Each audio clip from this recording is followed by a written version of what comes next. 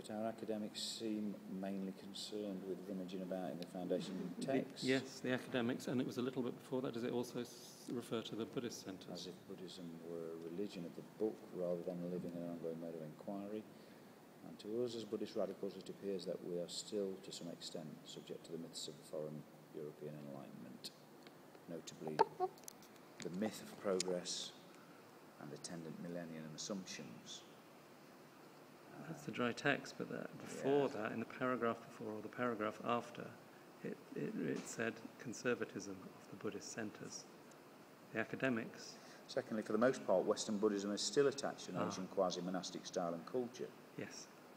and its teaching and practice, which is less than fit for purpose in contemporary Western cultures.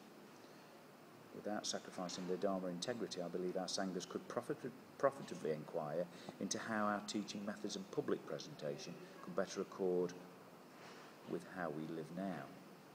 Keep going, it might say. Specifically, we need to develop more of an everyday Buddhism rooted in the ups and downs of our stress, insecure and distracted society. More attention could be given to the burgeoning emotional awareness practice which has long flourished in America and drawing on the emotional fluency and interpersonal habits of Westerners. There needs to be more use of small group and other communication skills, which is where That, that, that, that was where I came in, Yeah. and a little later it spoke about things being conservative and not supporting radicals. But have we enough Dharmic free thinkers of vision and Yes. energy? I fear that in the UK, Sangha's institutionally conservative Yes. and tradition bound, as many are, and in, an insufficient number are likely to be tempted out of their comfort zones. Arguably, Western Buddhism, for the most part, with Soka Gakkai International as a noteworthy exception, functions in effect as an opiate for the educated white middle class with a taste for Asian cultures. Wow, that's quite a strong phrase, mm. an opiate, because it brings back religion Brings is back the Marxism- opiate. Religion is as the opiate of the of people. masses, indeed.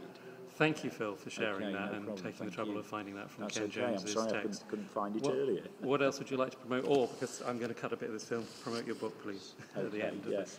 um, socially engaged Buddhism in the UK um, has been researched over the last Which is the subtitle that can't been- be seen it's on the screen. Researched over the last 10 years, and, and this is the book of that research, which is called Adaptation and Developments. How much would I have to give you to get, Buddhism. to get that Um, advanced the- copy? These have been discounted at £58, Mhm. um, which is horrific. So if you are inclined to purchase it, go to your local library, ask them to bring it in for you, uh, and then the hope is that we would persuade Bloomsbury to produce it in paperback, paperback at a uh, cheaper at a cost. much cheaper cost. Well, I'll, I'll buy it for you at that cost, from you at that cost if you can spare a copy today. Okay. Cheers. Thank you.